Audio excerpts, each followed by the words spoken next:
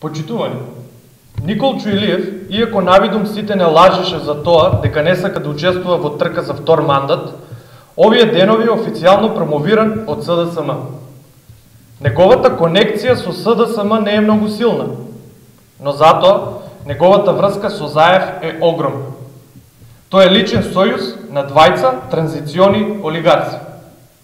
Сличноста е голема, гледајќи од повеќе аспекти.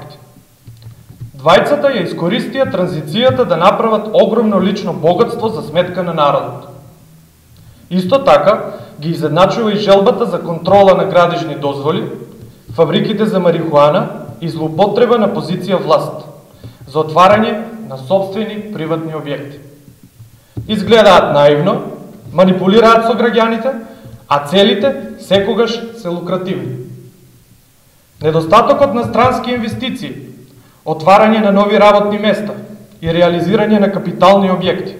Илиев се труди по секоја цена да ги покрие со аматерска инфраструктура.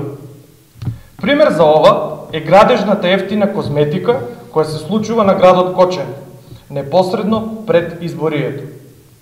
Градот се наполни со нефункционални, неправилно изградени и смешни кружни текови. Гледаме неспособност во справување со предизвици од безбедносен и екзистенцијален домен. Стандардот на граѓаните е жалосен. Кочанчани се посиромашни од било кога порано. Почитувани, ВМРО ДПМН во минатото покажа и докажа како се води држава и општина. Сетете се на Амфенол, Антура, економскиот раст кој беше реален, надешта која имавме дека работите одат на подобро во Кочани и Македонија.